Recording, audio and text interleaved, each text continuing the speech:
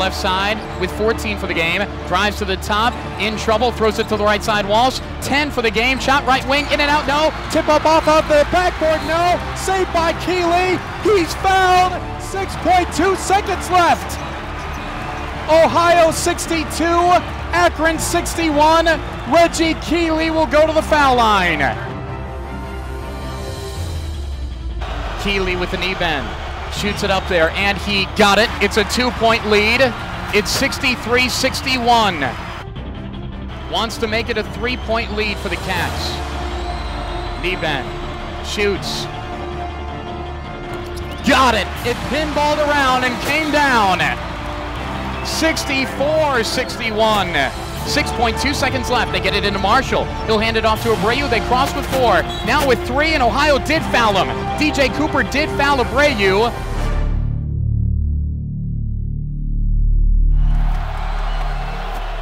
He waits, he dips, he fires, he got it. 64 62. 3.1 seconds left. Abreu with one more. Will he hit it? Will he miss it? He will uh, miss it off the back iron, but it rolled in. It's 64 63 with 1.9 seconds left.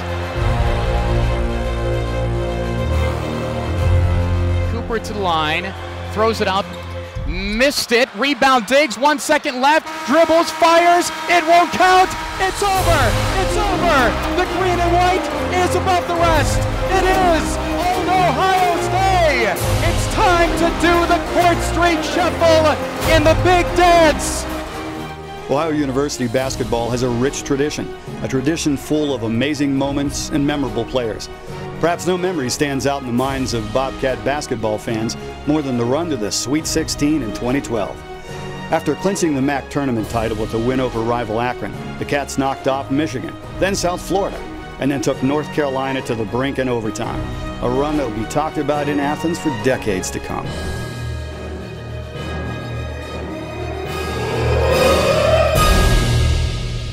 No, not satisfied with it. You know, me and my teammates talk about it all the time, how we need to get back.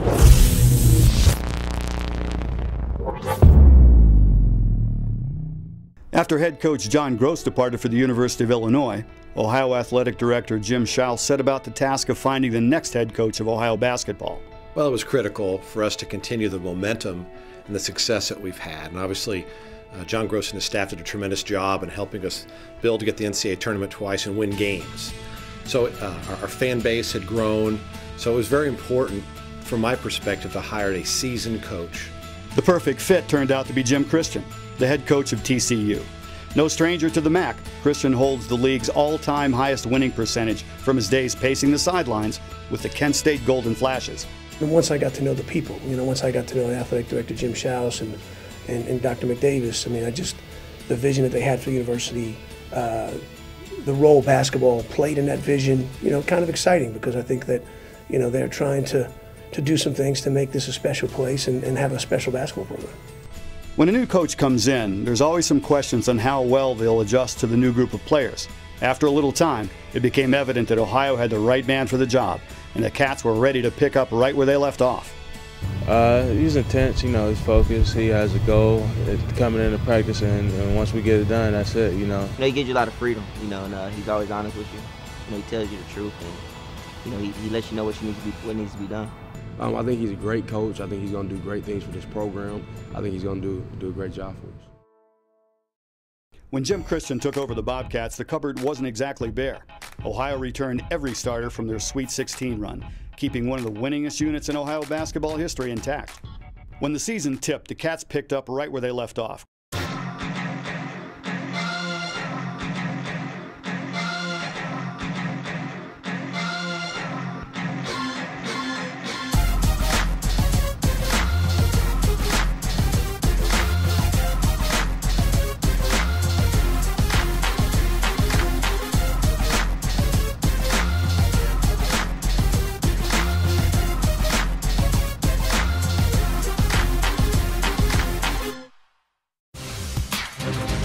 As usual, one of the major catalysts for Ohio's early season success was do-it-all senior point guard DJ Cooper.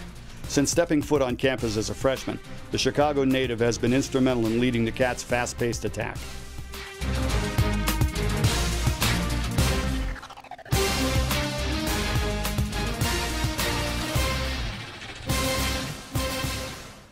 First and foremost, he's, he, has been an unbelievably joy to coach, and, and I mean that sincerely. You know, he's a guy that really every single day uh, he sees things on the basketball floor. He's aware of things that are happening in the game. He does things that only special players do. He searches for assists, and, I, and, I, and literally he searches for assists.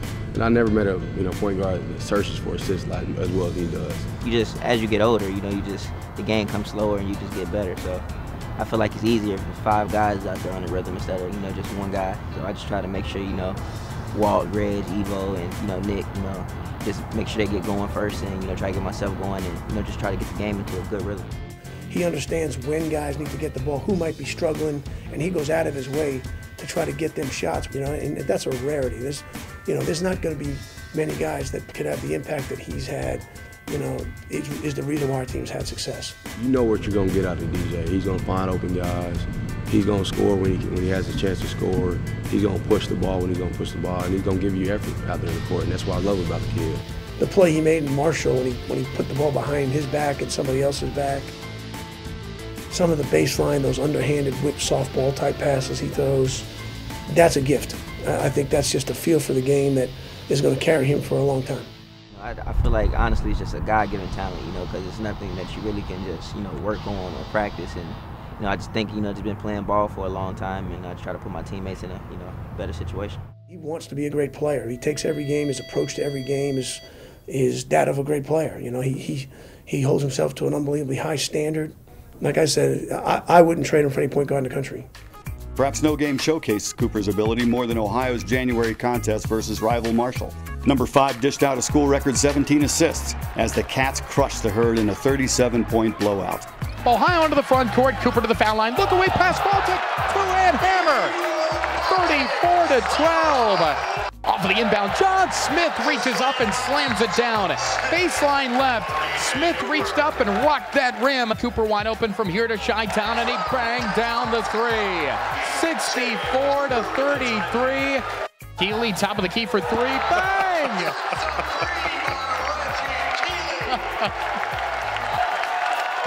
And everybody at the Convocation Center, unless they're wearing the Marshall shade of green, on their feet now with the standing O for DJ.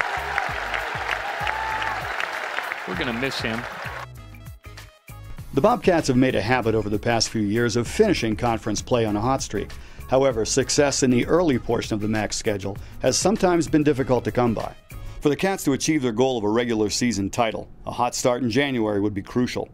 It is game on to MAC play in 2013. It's Ohio and the Buffalo Bulls. Down the floor, Cooper gives it to Baltic. Slammer jammer. Offutt, decks it to the lane, goes to the rim. Banker, yes, as he's falling down. Dribbles over to the right side. Whips it into the post. Reg with a right hand dunk. Oh, get out of here. What a beautiful pass.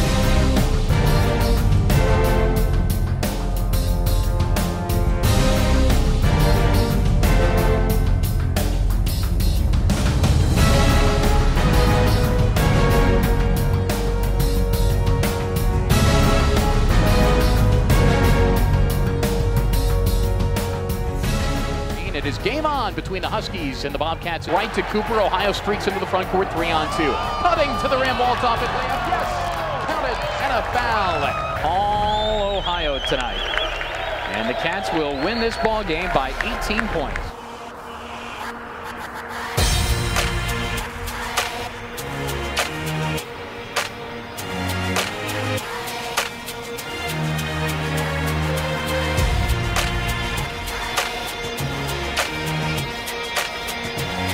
Left elbow jumper on the way, banked up, no good. Cooper got the rebound, banking shot, yes!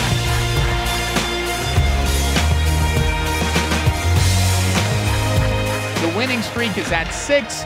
Ohio is now 14 and 5 on the year and perfect in Mid American Conference play at 5 and 0. Paint this one green and white. Key to Ohio's success in the early stages of MAC play was the development of senior forward Reggie Keely. The 6'9 Cleveland native earned a spot in the starting rotation and hasn't looked back. From the day I got here, I understood how important he was to this basketball team. He's our physical presence around the rim. He's done a great job. He comes in, he works extra continuously. He's been a hungry senior. Uh, it's been a, again, he's he's an easy guy to coach. You know, over the years, it's just It's just been, you know, one big process. You know, you just work hard every day, and hopefully you get a chance. And right now, I'm getting my opportunity. So uh, I feel like I've been very blessed, and I'm very fortunate to, you know, be in the situation I am now. You know, he's a smart player out there. You know, he know how to, you know, find the certain spots and you know, just with the chemistry, you know, he knows where I'm gonna pass the ball and he know how to get open. One thing you need in, college basketball, you need a paint presence, and I, and he's been a part of our team to do that. And I think you know that's gonna pay dividends on us down the road as far as getting to the free throw line, um, getting paint points, and we need that from him. Riding a six-game winning streak and holding a 5-0 record in the MAC, the Cats found themselves heading to Northeast Ohio to battle Jim Christian's former team, the Kent State Golden Flashes. It was a lot more difficult than I thought. You know, coming into it that week, obviously I'm preparing for the game, and, and, and, and I have a lot of respect for Kent and their team and what they were doing. Um, you know, and, and actually in the walkthrough that day really wasn't uh, uh, that much of a big deal. But then at the game, you know, when I saw some people that I haven't seen in a while, it became a little bit emotional at that point. But again, as always, when, when the ball goes up, those things go out the window, and it was a great basketball game. It was a really uh, a 40-minute grind for both basketball teams.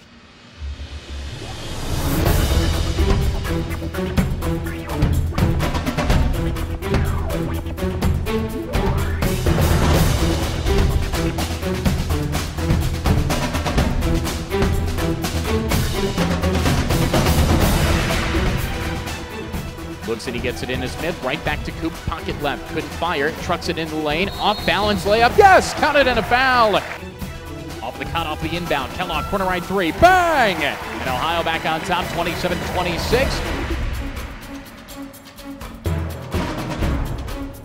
The first half featured a tough physical game, with neither team able to pull away and secure a convincing lead. Circles with two and one. Fires up a three, and he got it. The second half was exactly the same.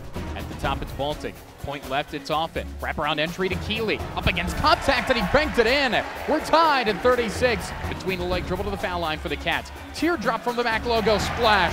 Ohio on top, 50 to 46. DJ's getting locked in. And left, it's Cooper. Tries to get it to Keely. Can't pull up three on the way. Bang! Seven to shoot into the paint. Corner right. It's a three. It is good for Kent State. Crossover dribble on Baltic. Lean in shot with a bank. Got it. Count it. And a foul. Offutt wards off defenders. And Cooper comes into the front court. Whip into the post. Keely right hand layup on the right hand side. Cats down one, 66-65 with the ball. Two minutes to go for the game. Cooper right of the paint. On a bounce to Keely, who slipped to the rack and he laid it in. Brewer on a switch. Behind a screen, it's Brewer at the top with six. Now with five. Straight on with four. Works on Cooper, low block right. Banking shot, yes, with one on the shot clock. Under a minute to go. Cooper at the top, splits two, runs to the goal, pumping off balance shot, no good, but he went down to the floor. He's fouled. He'll go to the line. 56 seconds left. DJ to the line, and he got the first free throw. We're tied again. Five is six from the line. The lefty fires. Got it. Brewer left wing. They get it to Evans, head of the key, 24 to shoot. Lowers his shoulder, and he traveled. He ran against Offutt, and Offutt didn't move. He traveled. A huge turnover. Now they show a double 10 to shoot. Offutt Wing right. Back to the left side, Kellogg. Six to shoot. Cooper at the top with five. Now with four. Fallback, three on the way. Partially blocked. Saved by Evans. Now six. Kent State in the backcourt. Holds at the timeline to the foul line. Right hand flyer. Back iron, no good. Rebound batted down to the floor. Ohio wins. Ohio wins. Ohio wins. 69 68 over the Kent State Golden Flashes. I know how difficult it is to win there, and I know how. Uh, how many teams have gone in there and, and lost those type of games. So to walk out with a win, you know, the way we won it was was real exciting. They knew it was a big night, you know, a hard night for me, but a big night, and not only a big night for our team, but for me, and, and to see them, you know, feel great about it, that meant a lot to me. That's a big time roll win, fellas. That's a big time roll win right there, man. Riding a seven game winning streak and off to the best conference start in nearly 40 years, Ohio took their 6 0 MAC record back to Northeast Ohio to battle the MAC's other unbeaten, the Akron Zips. With the two teams meeting in the MAC championship game two out of the past three years, the Akron Ohio rivalry has quickly become one of the most anticipated matchups of the year. You always want to play a, a, a team like Akron, a, a, team like, you know, a team that you really want to play. You know, I wish it could be like that all the time. It's no secret that they're in the championship almost every year. Two good teams, you know, like to compete, and uh, you know they, you know, good players on both teams, and you know nobody want to lose. You know, so you know, kind of, you know, creates its own type of rivalry.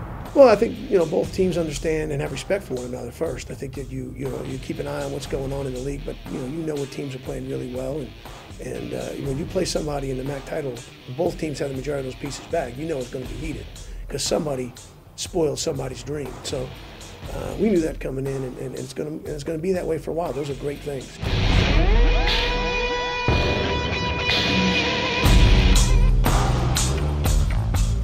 A sellout crowd filled James A. Rhodes Arena on a snowy February night to catch this battle of MAC East powers.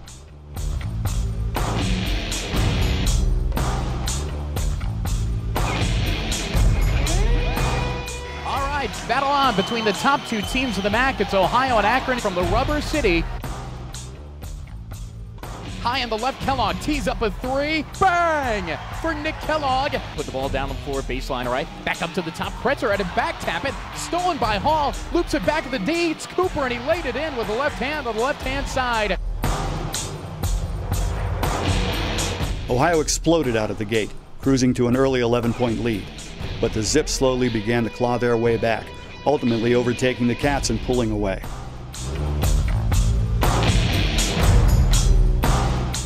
Left side, it's Marshall. Tries to run to the goal. Fallback jumper is good. They'll take pleasure in doing that. And all Akron will have to do is get across the timeline. They have beaten the Bobcats. I mean, we were up 11. You know, no, no team should ever come back. You know, especially when you got four seniors out there on the court. And uh, you know, I put that game on me. You know, just because I'm the senior guard out there. And uh, you know, we'll be ready for them when they come here on the 27th. Our team learned a lot from that. You could see it, you know, in the expression on their face. But at the end of the day, all it did was motivate us more. After a tough loss, especially to a rival, it can be difficult for a team to regain their swagger, something Ohio has to do to keep pace with Akron in the hunt for a championship. When you're halfway through the conference season, every night you go out there's a championship game. That's the message I've been trying to preach to them is when you're in the hunt for the title, Ball State's just as big as Akron. Um, and, and on the road is tough. You know, I'm not a big believer in like terms, hangover game or look past this game. They mean nothing me. They, those only are terms for people who aren't recklessly pursuing that championship. Those are excuses. Up next, another road trip, the fourth in the row for the Cats, to Muncie, Indiana, to take on the Cardinals of Ball State. Ohio put any thoughts of a hangover to bed immediately. Ball State has lost every conference contest at home. They're 0-3. Travis Wilkins checks into the ball game, gets it to Walt Offutt, left wing three, book it. And Ohio's on top 13-3 on Ball State. Now to left wing, Cooper stepped in there, stole it away. Runs on the right wing, waits for Baltic, now steps back at the foul line. Now to Offutt, left point three, book it. Now to Hall at the top, he started tonight. He's gonna shoot from three and bang it down. TJ Hall gets in the starting lineup and he has 10 points. Goes low block right underneath the goal, kick out to Hall. No look, pass into the post. John Smith laid it in. Oh, the ball movement was so delicious on that possession for Ohio. Up to the top, Offutt, tipped the ball away, runs to the goal for a right-hand layup. Timeout, Ball State. Biggest lead of the ball game right here. 40 for Ohio, 14 for Ball State.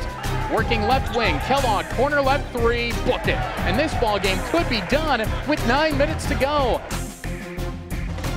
And the Bobcats are now 16 and 6 on the season.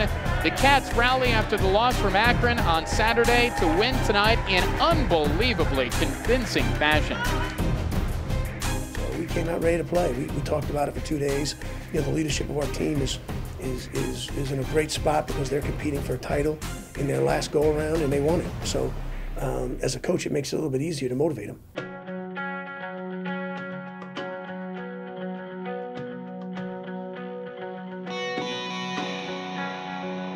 With an impressive 4 1 road record in conference play, Ohio finally returned home to Athens to face the Bowling Green Falcons.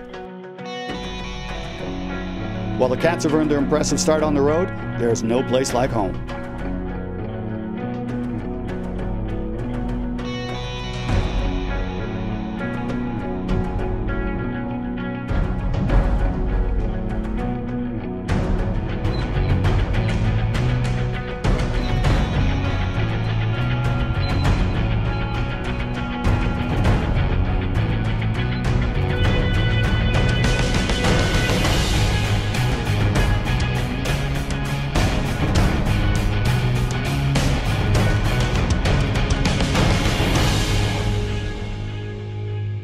It's amazing to me because it's second to none. I think our the marketing people at our university have done an unbelievable job of getting students to the game here. There's probably not 10 better student sections in the country than are at the Convo, And you can ask any coach in the league. It's the envy of every every program in the league. The turnout, the community involvement, the support that we get. There's a reason why our team plays unbelievably well at home because it's a, it's a very difficult environment when it gets going. When the O-Zone gets into the game, it, it's, it's, it gets me revved up. In front of a crowd of over 10,000, the Cats cruised past the Falcons on the way to an 8-1 conference record, the best start in league play in nearly three decades. Cooper to the foul line. Pitch it high on the right, Offutt wide open for three. Bang! Back to Taylor, sideline right. He'll wheel into the color. Now Wilkins, point left three. Bang! For Travis Wilkins, Offutt on the angle left side. High on the right, Cooper from 25. Bang! Draws a double team, goes baseline right into the post. Keely up against two. High banker, yeah. Drive. It's Holmes, and he's had the ball stolen away. Paul runs left of the paint without numbers to the rim, and he laid it in. Ohio is now 17 and 6 on the year. Final score: Bobcats 72, Bowling Green 63. With seven conference games remaining before the MAC tournament, Ohio is in prime position to recklessly pursue their regular season championship. Over the next five weeks, we'll give you an all access pass to everything practices, travel, games, and life on and off the court for the Bobcats. This is Attack U.